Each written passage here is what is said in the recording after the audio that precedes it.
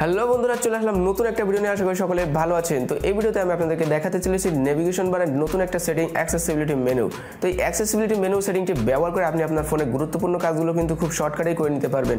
যেমন ধরুন, আপনি শর্টকাটে স্ক্রিনশট নিতে পারবেন শর্টকাটে রিসেন্ট ফাইল চেক করতে পারবেন, তাছাড়া নোটিফিকেশন বার চেক করতে পারবেন, এবং নোটিফিকেশন বারের মেনুগুলো কিন্তু চেক করতে পারবেন। তাছাড়া অনেক গুরুত্বপূর্ণ কাজগুলো আপনি এই নেভিগেশন বারের সেটিংটির মাধ্যমে খুব সহজেই করে নিতে পারবেন। তো চলুন দেখে আসি এই সেটিংটি আপনি আপনার ফোনে কীভাবে করবেন। তো শুরু করার আগে একটা কথা না বললে নয় আপনি যদি আমার চ্যানেলের নতুন দর্শক হয়ে থাকেন, তাহলে অবশ্যই চ্যানেলটি সাবস্ক্রাইব করে দিন এবং পাশে বেল আইকনটা অন করে দিন পরবর্তী ভিডিও নোটিফিকেশন পাওয়ার জন্য। তো চলুন শুরু করা যাক।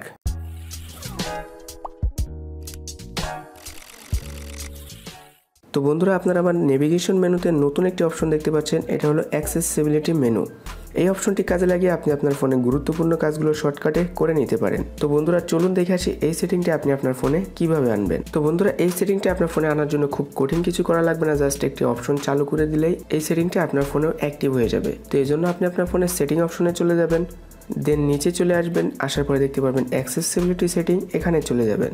দেন সোয়াইপ করে নিচে আসবেন, তারপর একটু উপরে দেখতে পারবেন অ্যাক্সেসিবিলিটি মেনু। এখানে চলে যাবেন, দেন ইউজ সার্ভিস, এটা অফ আছে, এখান থেকে অন করে দিবেন।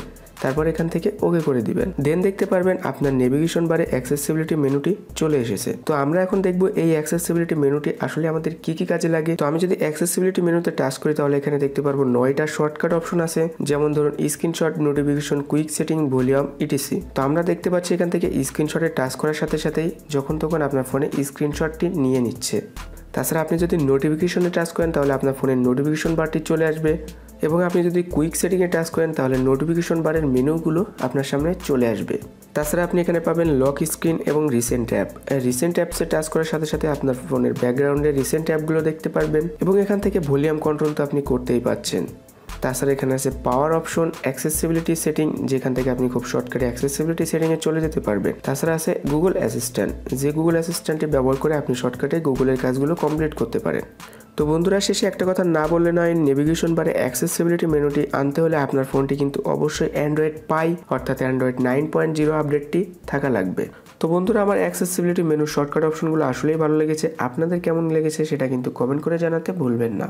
তো বন্ধুরা, এই ছিল আজকের ভিডিও ভিডিওটি যদি আপনাদের ভালো লেগে থাকে, তাহলে অবশ্যই ভিডিওতে একটি লাইক করে দিবেন এবং কমেন্ট বক্সে কমেন্ট করে আপনার মতামতটি জানিয়ে দিবেন। আর আপনি যদি এরকম সুন্দর সুন্দর অ্যান্ড্রয়েডের টিপস অ্যান্ড ট্রিক্স শিখতে চান, তাহলে আমার চ্যানেলটি অবশ্যই সাবস্ক্রাইব করবেন এবং পাশে বেল আইকনটা অন করে দিবেন। পরবর্তী ভিডিওর নোটিফিকেশন পাওয়ার জন্য। তো দেখা হচ্ছে পরবর্তী কোনো ভিডিওতে। সবার জন্য অনেক অনেক শুভকামনা রইল। সবাই ভালো থাকবেন, সুস্থ থাকবেন। খোদা হাফেজ।